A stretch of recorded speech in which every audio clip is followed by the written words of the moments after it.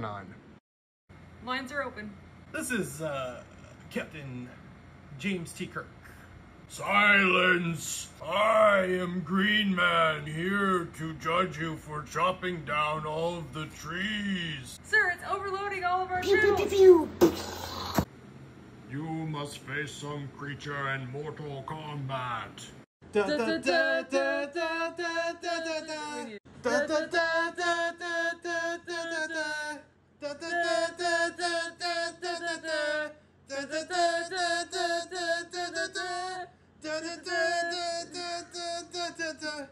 Yo, keep, keep going, keep going.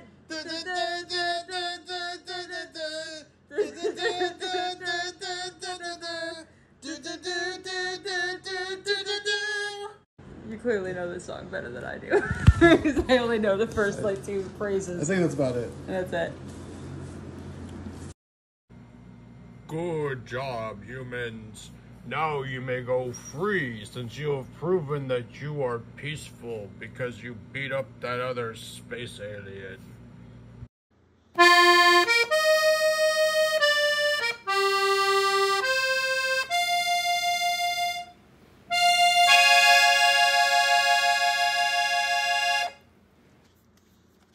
All right, everyone, welcome to Lecture 27 today. Uh, we're going to discuss second order bandpass responses. So, this chapter, uh, chapter 29, and apologies for the formatting in the summer edition here, um, what we're going to do is look at our good old RLC circuit and we're going to analyze it now in terms of our frequency knowledge that we've gained over the previous uh, handful of chapters. Okay, so if you want a band pass, uh, what band are we going to pass? We're going to pass the good bands, then we're going to reject the bad bands. Like, I don't know, we're going to reject maybe these over here. anyway, uh, can you tell I'm a classic rock junkie? I don't know. No, bandpass just means it's the frequencies oops we uh we want to keep and these are just the frequencies uh, we want to reject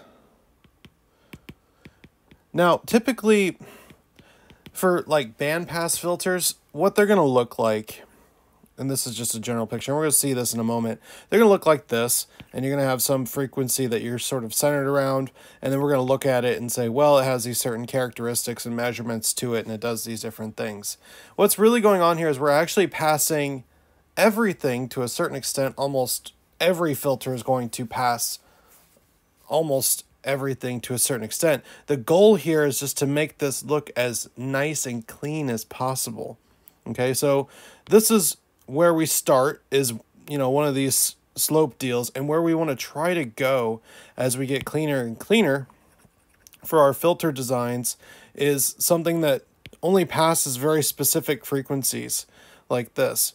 Now this is a very hard thing to draw with you know shapes that are all curvy, right?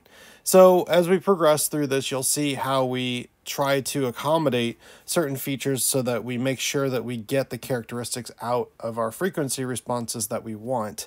So that's that's kind of the you know bird's eye view of, of what's going on here is we want to try to keep certain frequencies in and reject other frequencies. Um, sometimes you're gonna have a difficulty of you know having to do this in multiple sections um, or trying to you know make sure that you don't cut off other important pieces of information in the slopey region of your of your bandpass okay? So lots of stuff to keep in mind here. We're just starting to scratch the surface on um, how frequency responses can be tailored. And this is that first step on actually tailoring those responses okay? For a parallel RLC and I'm going to go ahead and draw it out even though we know what the heck it looks like Okay, so there's our RLC circuit. We have this input impedance. We know that this input impedance is just, e or I'm sorry, admittance, excuse me. We have this input admittance, and it's equal to 1 over RP, right? When we hit that magic frequency, when omega is equal to omega naught, which is equal to our resonance frequency. We've talked about resonance before. Very important topic. Um, so the admittance for the circuit will achieve a minimum value here.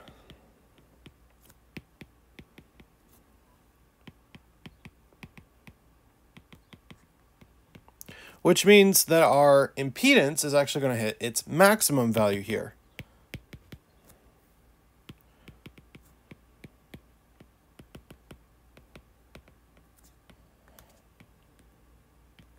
Okay, so what does the uh, impedance look like? Oh, by the way, um, the parallel combination of capacitor and inductor in this at the resonance will effectively be an open circuit, right? Keep that in mind. Um, so what do we have for Zn? Well, Zn is just this expression. We've calculated this before, so I don't feel bad just chucking it up here. And this is rather simplified, so that's that's nice for us. And why do we write it this way? Well, the main reason we we, we write it this way is because we want to have these uh, these nice polynomials here, right, on top and bottom. We don't want a bunch of 1 over s's floating around all over the place. And so this is the form that we end up with. Okay, so we're going to, we have a maximum value of our impedance, and that maximum value is equal to RP at omega R. Nothing should be new here so far, okay?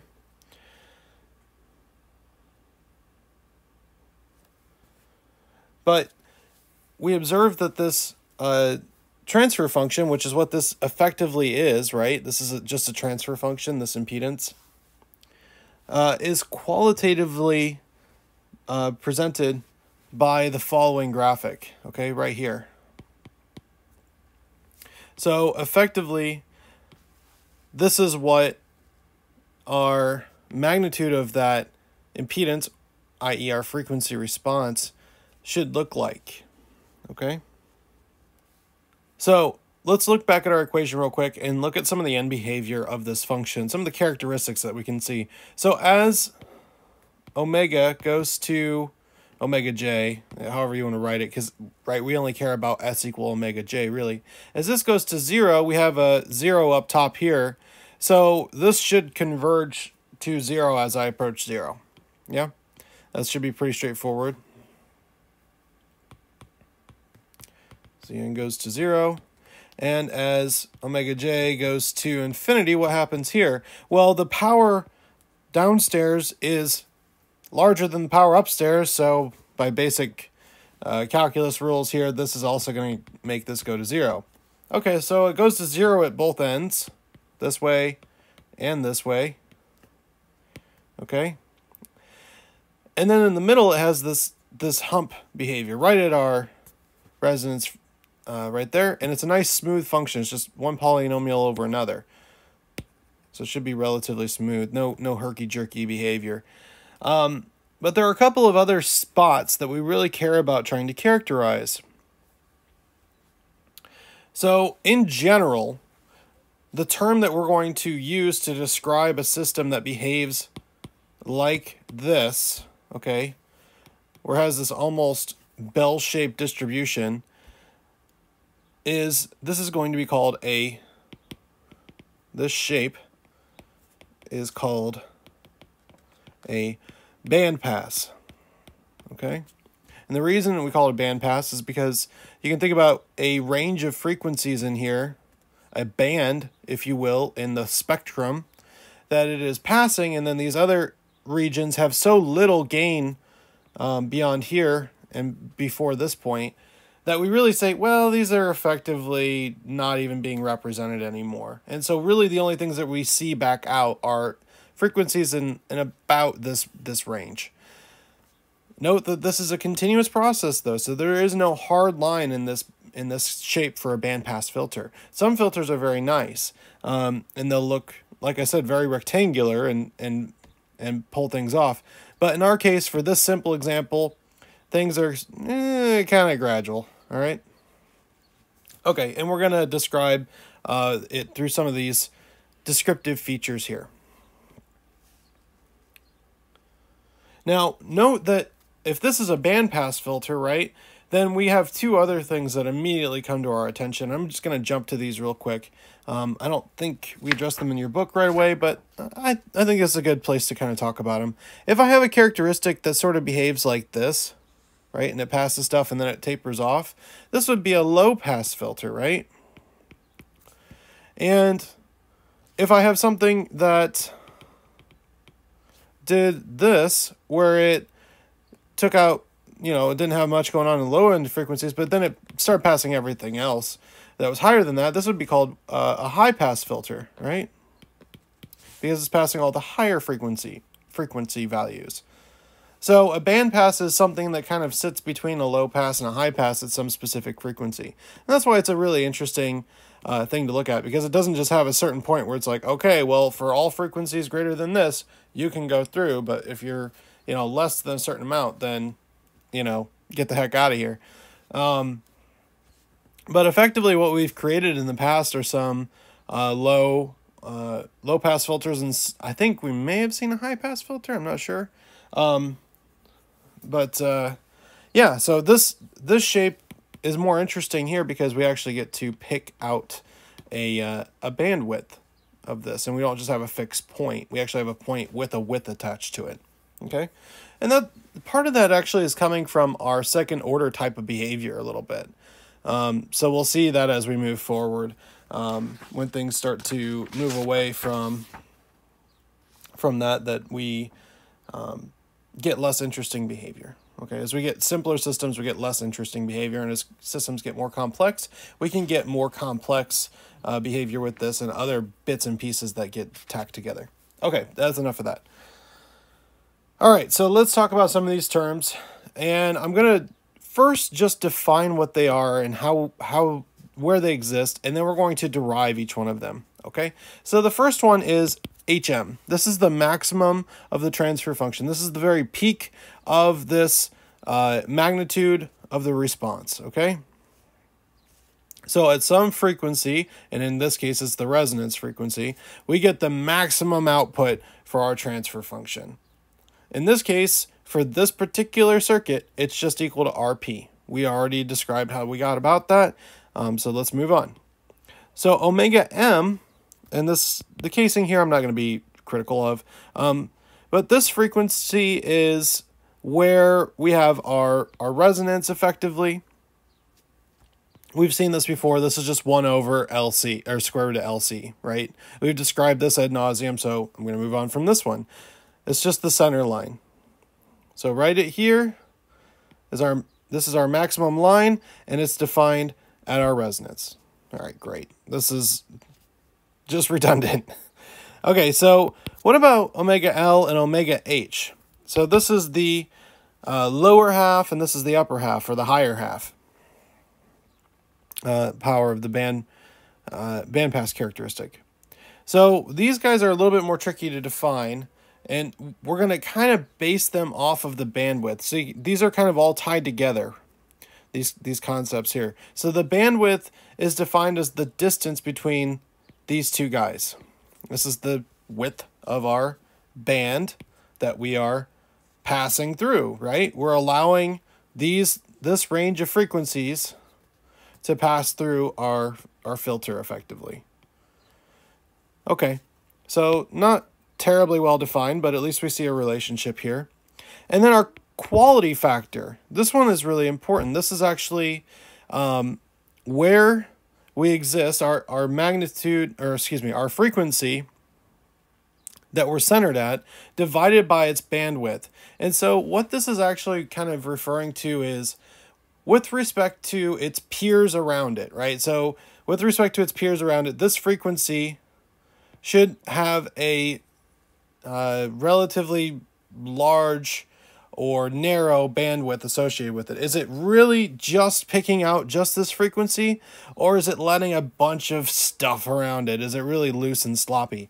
Well, actually, the best way to describe this is with the frequency itself. So because this is growing from 0 to infinity, we need to characterize this by a scaled factor of what this is actually equal to. For example, let's suppose that omega m is equal to 100. okay? Just for giggles. Um, and let's say that our bandpass is relatively large. Um, let's say that it's like, I don't know, uh, if this is 100 here, let's call this uh, 50. That's going to be huge, right? So this is actually only a Q factor of of 2. Okay, but if I had it really narrow with respect to that frequency, let's say that it was only 1, right? Then my Q factor would actually be equal to 100. Conversely, if I looked at this same 50 right here for a frequency of, let's say, uh, 5,000, then you can quickly see that my Q factor here would actually be equal to, um, oh, sorry, too many zeros. um, then my Q factor would still be equal to 100 in this case, even though I have a distribution, a width here of 50. So really that bandwidth, the, the moral of the story here is that bandwidth truly depends in its competency on what it's attached to, what frequency it's occurring at. Because without information about where the bandwidth is centered, the uh, width of the band is a useless metric. That's why we have the Q factor. Because that tells us exactly, um, with respect to where that frequency is, how useful is this this band pass at actually um, filtering out anything around the frequency in question. Okay, so the first thing that we're going to derive here is our half power bandwidth, okay? Okay, so first we start off by setting this expression equal to what we know for the, uh, the admittance. So we have yn j omega is equal to the square root of 1 over rp squared plus omega cp minus 1 over omega lp. It's this whole quantity squared. Okay, and we want this to be equal to the square root of 2 over rp, noting here that we're taking the reciprocal for this admittance now. So in order to make this work out, we, we just do a little bit of algebra here. And if we square both sides, we end up with uh, 1 over rp squared plus omega cp minus 1 over omega lp squared is equal to 2 over rp squared. Or better yet, maybe 1 half of this. And we can start to see an expression emerging here. Oh, I'm sorry, this is not a 1 half, this is a, this is 2. there we go. So we can start to see an expression emerge here if we pop this guy over to the other side. And uh, what we end up with is the following. We have 1 over rp squared is just equal to this squared, right? And we drop the squares. And so 1 over rp is equal to plus or minus this quantity. And so we, we take both versions right? The plus and the minus version of this to get our plus and minus um, versions of, uh, of omega L and omega H. That should make a little bit of sense. So we break this up into two. So we have our first equation, 1 over RP is equal to omega CP minus 1 over omega LP. And our second equation is 1 over RP is equal to minus omega Cp minus uh, 1 over L, omega Lp. Okay, so we're going to take these two equations and work with them. Okay, from here we just write a really nice expression for ourselves. We just convert these uh, into omega squared uh, and we're going to divide every, we're going to multiply, oops, we're going to multiply everything by omega and divide everything by CP on top here and on bottom as it turns out. Um, but we're going to also uh, take care of the sign uh, down below as well. So anyways, we multiply by omega divided by CP, we end up with the following. Uh, this minus 1 over RP CP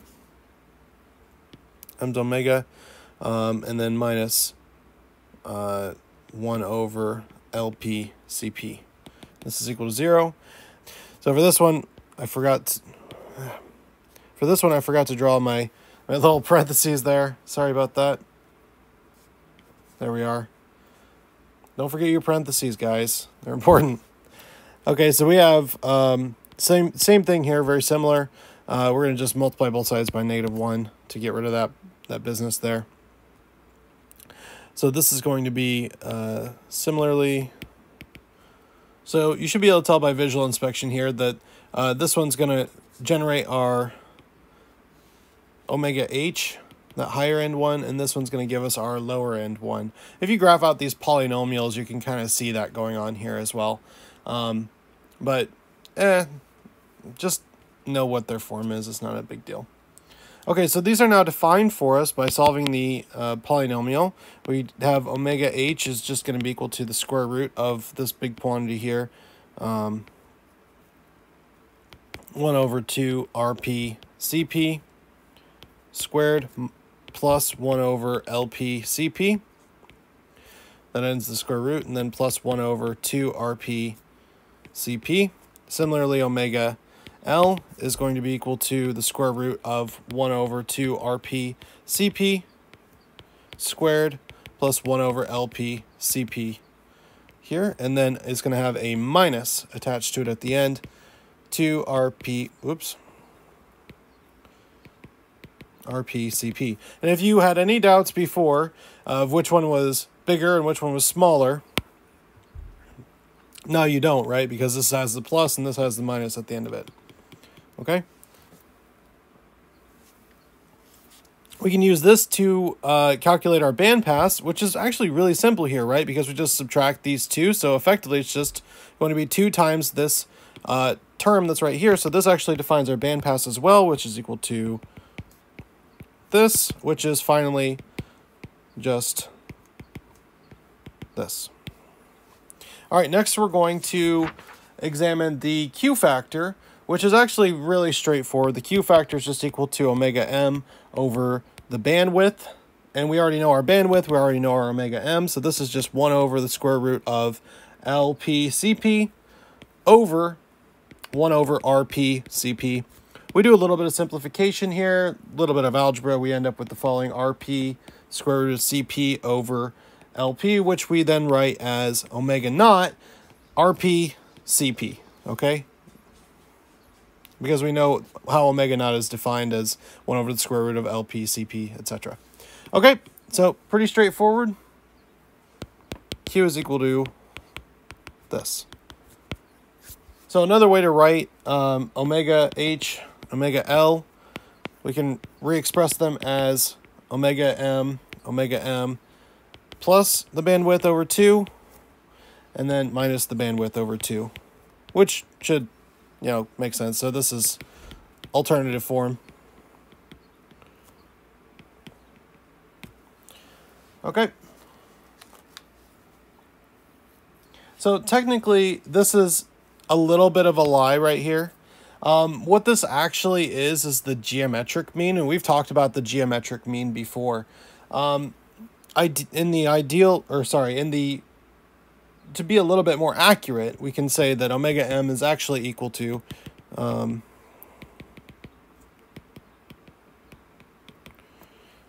is closer to this geometric mean omega m omega l. But in practice this actually works pretty darn well. And so we actually adhere to this lie pretty often. And even in the kind of stuff that i've i've worked with um, this is usually the way we like to think about uh, the bandwidth is having these sort of uh, symmetric sides to it. Because otherwise it just kind of eh, it gets a little sloppy. Um, so it's it's nicer to deal with this than it is to deal with that geometric mean, but it's there just so you know. Um, it's technically not true that it looks like this perfect little um, bell curve. It actually has some slope or some slant and uh, bias to it in some ways, I guess you could say.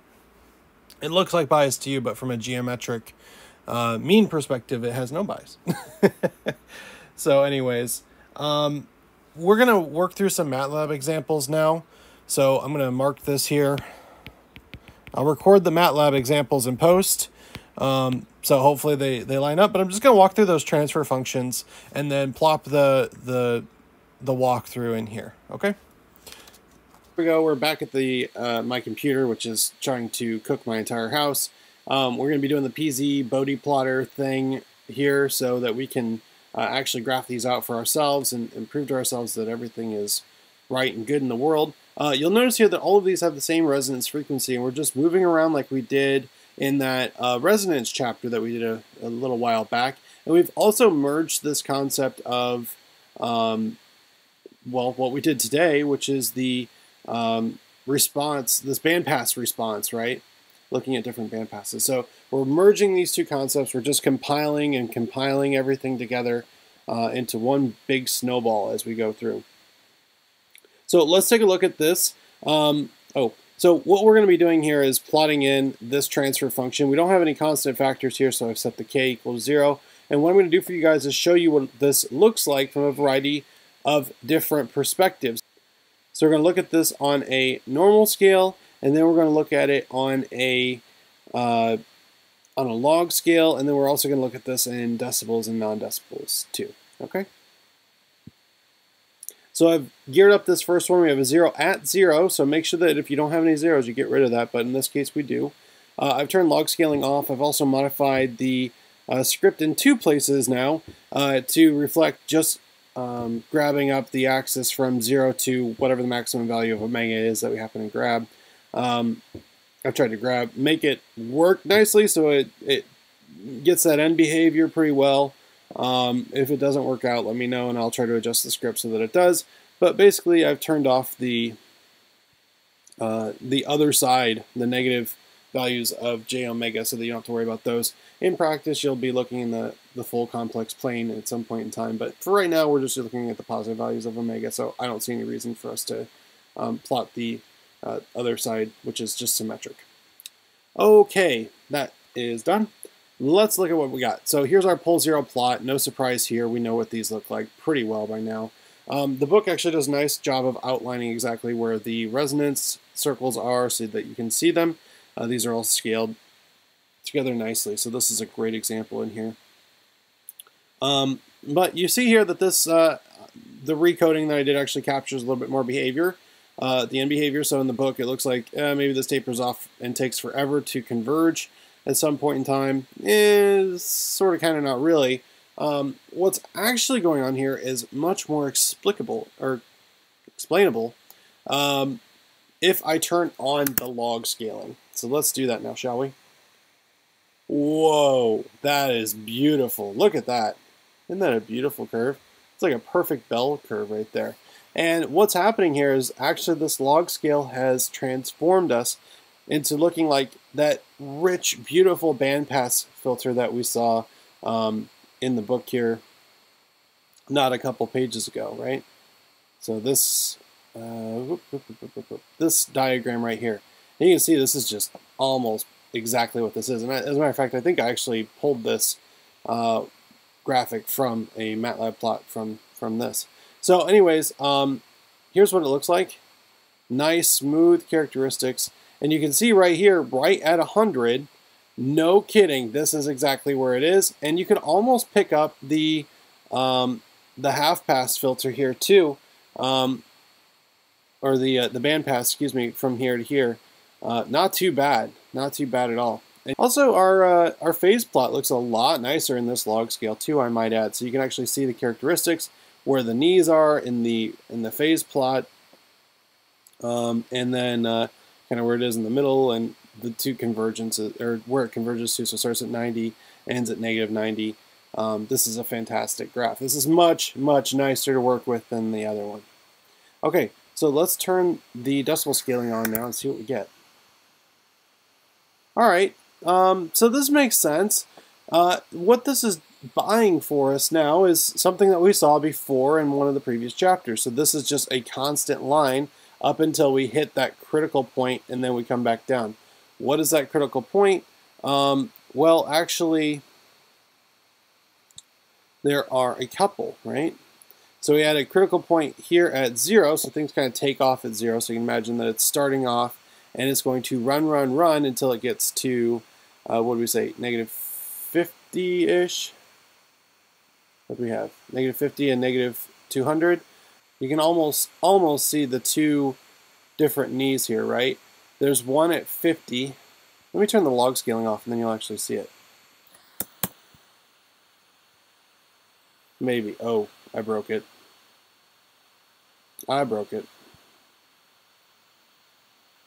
Yep, that one doesn't work. Sorry, guys. Uh, someone fixed the functionality of my script. it's not supposed to do that. Okay, well, whatever. Um, if you zoom in here, you can actually kind of see that there's two knees to this curve.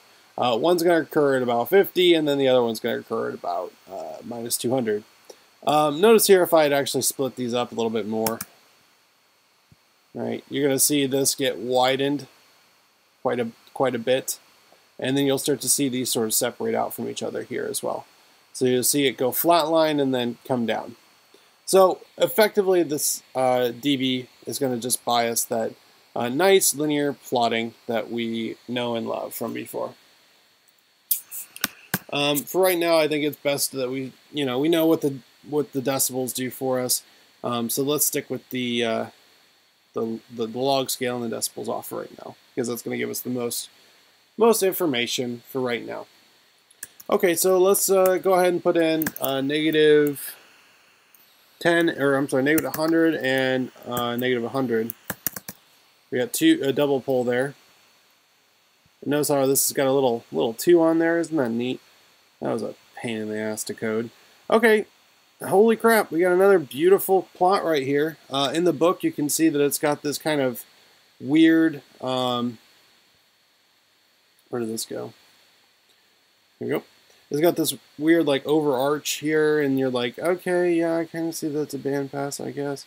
Well, there's no doubt in your mind that this is a bandpass filter anymore, is it? Because this is on a nice log scale, and you can see everything, and it's symmetric with respect to a log scaled frequency. Beautiful. Bellissimo. All right. Okay. Notice here it's also centered right where it should be, but our magnitude is increased. That's key. So we're increasing that magnitude when we're fiddling with those values. We still have the same resonance, we still have the same bandpass characteristics, but our magnitude is getting larger. Okay. So let's go ahead and put in minus 60 uh, plus 80J and minus 60 uh, minus 80J. Okay, so here you go. Uh, notice on the last one that the scaling factor up here was 10 to the minus 3. Uh, so anyways, yep, pretty close to the same thing. We're still changing that uh, that magnitude there. I think we're still still growing a little bit, getting a little bit taller each time um, as we go through here. If I turn off the log scaling, you should not be surprised that sort of this uh, lopsided function here, but it's actually getting closer and closer to um, converging, right? Uh, it's it's sort of getting closer and closer to just being at this 100. So you can now imagine, oops, sorry about the pole zero plot. So you can imagine that this is, as these poles are starting to move towards this axis, that it should start to become something kind of very uh, high in the Q factor. So now let's go ahead and do something that's just like really close but not quite. Uh, minus 1 plus 99.5J and minus 1 minus 99.5J. Okay? So that's just like almost right on that axis there. Uh, you can see it right here. Um, they're almost touching that axis, but not quite. And for our, this is with log scaling off, by the way. Okay, so this is now all the way up at 0.5, and this is almost symmetric here. Almost symmetric. Because we've come so close here that we'd have to zoom in quite a lot for our behavior to even look uh, remotely strange to us. You can start to see it a little bit here. A little bit lopsided, but hardly any behavior at all that's lopsided. Okay? If I turn on the log scaling, you, you really just literally see nothing still, right? It's just gotten very, very pointed. Now, if I go all the way, you can imagine what's going to happen. We're going to end up with that asymptote there. So if I put in minus 100, uh, minus 100J, and then plus 100J,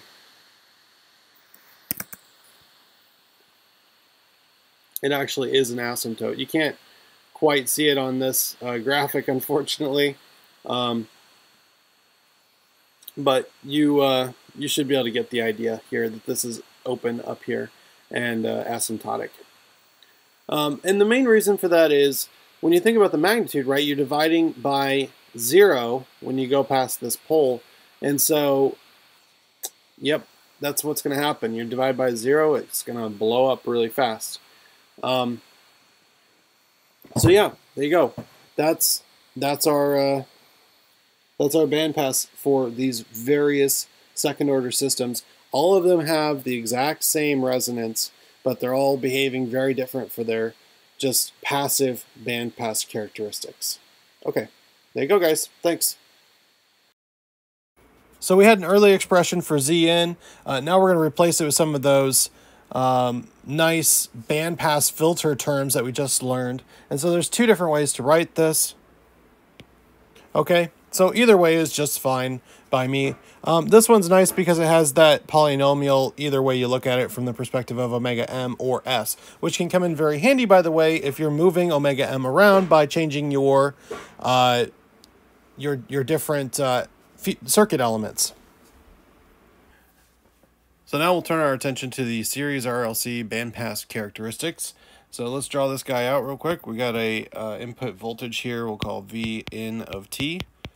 And we'll mark off our admittance right here as Y in. And this guy's just going to go around like so. I've got a, a resistor here we'll call RS. And then LS and then, what do you know? Why don't we call this one, just for fun, CS? And then I out. Oops, this isn't capitalized yet. Sorry about that. So this is a simple RLC circuit. Uh, and we typically work with the input admit admittance uh, such that the output of interest is the uh, current induced by the applied voltage. So um, I apologize, there may be fireworks going off tonight as it is July 3rd today. Um, probably won't do any recording tomorrow because it's just going to be a lot of noise, uh, at least not in the evening. So, anyways, um, when we look at this guy, we look at the characteristics, and what we see is that H J omega is effectively here just equal to this uh, input admittance. Okay, and with that being said, the input admittance is going to, at this magic frequency, right, at our resonance frequency, HM is just going to be 1 over RS. From here, we can actually uh, calculate the um, characteristics pretty easily because all the equations we obtained for the parallel RLC may be translated uh, to the series case with the consideration of duality, right? Because we've kind of gone from impedance to admittance here, we can kind of just swap everything over. So Z goes to Y, R goes to 1 over R, C goes to L, uh, cats go to dogs, and um, they're living together. Uh, the bandwidth here is just going to turn into RS over LS. Uh, recall that what we had last time uh, for bandwidth was this guy here. And so again, in the spirit of turning things into um, into this series design, uh, we just convert that C to an L, and we're in good shape. And the R gets slipped over, so there we are. This is what we end up with. Um, and then our Q factor is still that same ratio. Okay, we still have omega over uh, the bandwidth. And so effectively what we end up with here is 1 over RS times the square root of LS over CS. Um, noting here that we uh, account for that omega naught. Uh, if we leave the omega naught off to the side, it just looks like this. Okay, pretty straightforward, yeah? Because this is the, you know, 1 over BW. Yeah, so pretty easy. That's it. That's a whole, uh, that's the whole bit for the Series R LC bandpass. So not too bad, okay? So now let's look at the effects of scaling some of this stuff. So we've kind of touched on this a little bit, and one of the things to notice here is that when we scale things, um, it depends on what frequency we're at, and if we shift things in frequency, then the scaling has to be proportionate to it as well. Um, so let's let's do some specific uh, examples. It is worth quickly observing that the frequency scaling may readily be used to move the passband of a second order system. Consider the generic parallel RLC like we did at the beginning, uh, for which R is equal to 10 ohms, L is equal to 1 Henry, and C is equal to 1 farad. In this simple case, we observe that the input impedance exhibits the following uh, characteristics here. We have omega original, Okay, omega naught original, this is our, uh, effectively our resonance here, is 1 over square root of LC. Right, and we plug in these values, we end up with just 1 times 1, which is equal to 1 radian uh, per second. Okay, uh, the bandwidth original is equal to 1 over RC, which is uh, 1 over 10 times 1, which is just 0 0.1 radians per second. Okay. And the Q factor uh, is just 1 over 0 0.1, which is 10. Notice here that the Q factor should be uh, unitless here, right? Because it's a frequency over the, the bandwidth, and the bandwidth is represented in frequency. And that makes sense too, right? Because the quality factor should be independent of where of the frequency uh, uh, to some extent, right? It's it's already accounted for that. It's it's atoned for itself.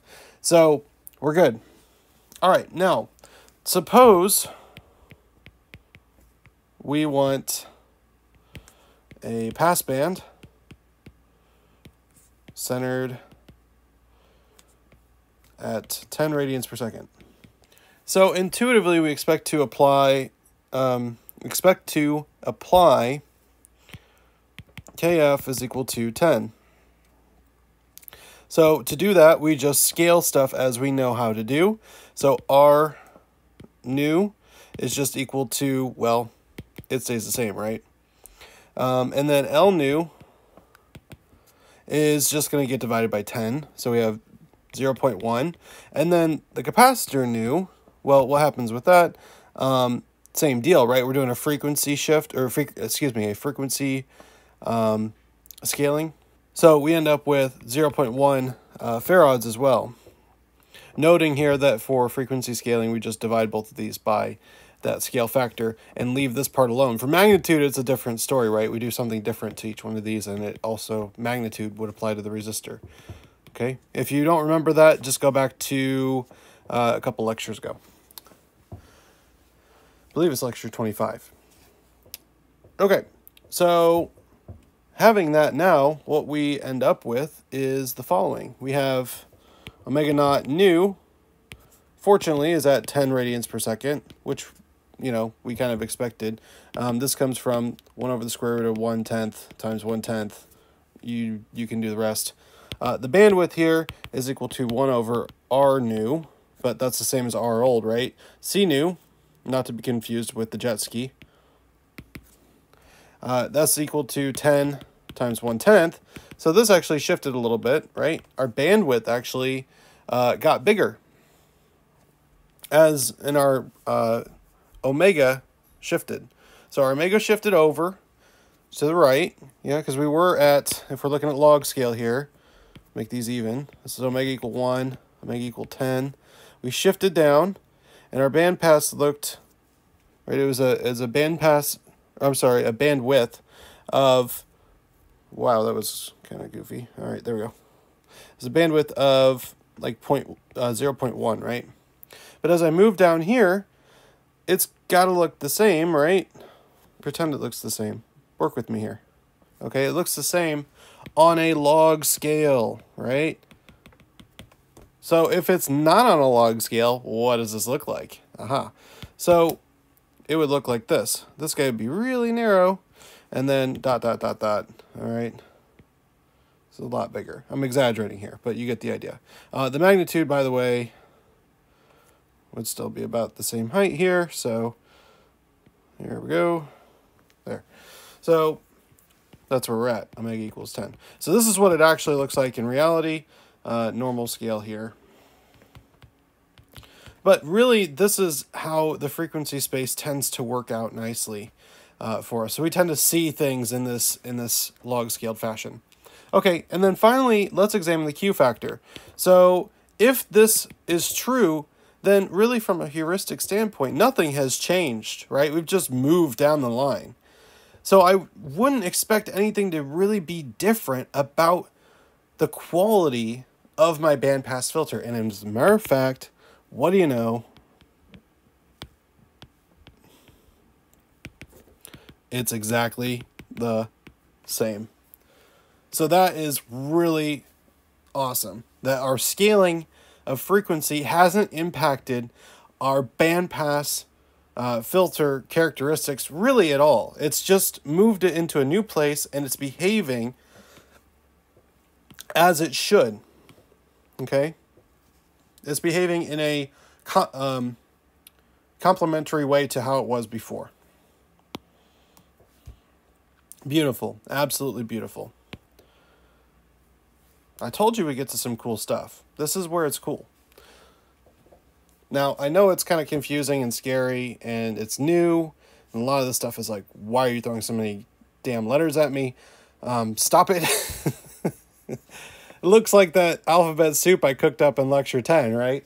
Um, but honestly, guys, once you get used to this world, it's eye opening and you start to see everything in a new way. I can't tell you how I even thought about um, things like music before I started thinking about things in the frequency domain, or how I thought about images before. Because once you start to see things in terms of a frequency type of space, your whole world transforms around you. Everything you look at and, and all the data you collect now becomes, it has this duality in a totally different space that you can now manipulate and make it look the way you want it to. And you can make it do things and perform different tasks for you. And that's really the magic of being an electrical engineer. And that's what really drew me to this field from mathematics. Because you can do so much with math, but the real application of something is what makes it magical. And man, are we doing some magic here today. Because we've just effectively preserved all this bandpass characteristic um, on a log scale, okay? Which is pretty neat. All right. So enough, enough blubbering. So in the homework, what I want you guys to focus on primarily is just the stuff for quizzes and exams. Um, this stuff is great for practical work, okay? I think that these are pulled more or geared more towards the laboratory type of stuff um, as a theoretical laboratory type of question. I encourage you to attempt them and work through the solutions, but this is the main focus uh, for our purposes in this this part of the course. Okay, um, I I have to be honest here. Um, a lot of this stuff in here I haven't really been touching on as much with the practical application. Part of that is I don't want to, you know, steer you guys down the wrong path of uh, things that I don't, I'm not as familiar with, to be honest. Um, being kind of new to the field of electrical engineering and having more of a math background, I need this stuff, where we're doing a lot of manipulations. Um, so this is the the pool that we're going to swim in primarily in this course. However, comma, that's not to say that you shouldn't also work at this stuff too. And but uh but yeah, don't worry too much about this upper section up here, okay? Just focus on these guys and these are very similar to what we did today. All right. Uh oh, no homework next time. That's nice. Oh, great. This crap is back in two lectures. Okay, that's Okay, well, we'll see you guys uh, next time, and uh, hope y'all had a happy Fourth. I guess it'll probably be like two week, two and a half weeks ago, at this point. but yeah, all right. Uh, let me write up the homework thing here. So focus on problem three. Okay, that's about it. Okay, thanks all. I'll talk to you later. Bye.